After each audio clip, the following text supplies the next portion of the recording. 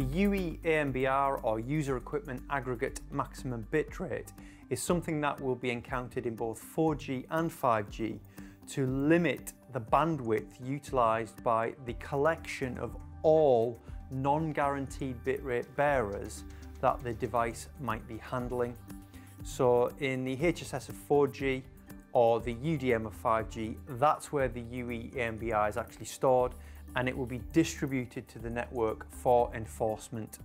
As such, as and when our device is establishing non-guaranteed bitrate bearers on 4G or 5G, the UE AMBR will limit the total bandwidth that is allowed to be used by the device.